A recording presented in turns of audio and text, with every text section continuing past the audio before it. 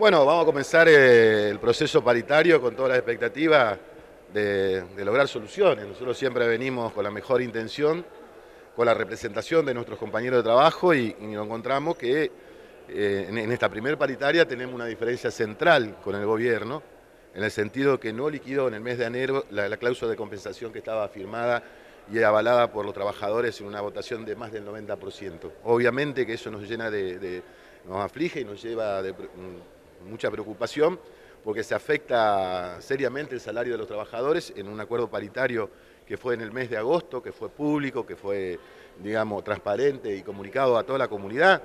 En ese sentido, lo primero que vamos a hacer es manifestar ese reclamo. Eh, Jorge, otro de los ítems que pasa en la paritaria central, a diferencia, por ejemplo, de los docentes, es la situación de los pases a planta. Digo, ha hablado el ministro de Economía, el gobernador al respecto, bomba de tiempo lo han llamado, se habla de cerca de 6.000 pases a planta en el último año. ¿Qué referencia tienen los gremios al respecto? No, no, los números son casi 12.000 nuevas incorporaciones en el Estado provincial global, pero de las cuales un tercio son policías, nuevos policías, otro tercio son cargos docentes o horas cátedra y otro tercio el resto de la administración. Esto se ha hecho con acuerdo legislativo, esto se ha aprobado en el presupuesto del año en curso, donde justamente el gobernador y varios ministros eran diputados, así que no es, eh, sorpresivo, no es nuevo, y nosotros estamos defendiendo eh, justamente el pase a plata a los trabajadores porque creemos que los trabajadores tienen que estar todos en un plano de igualdad, no uno tener digamos, estabilidad y otro ser precario. Eso es un principio que, forma parte de la historia de UPCN. Seguir con este tema en la reunión? sabían que iba a pasar esto con, los pases a planta?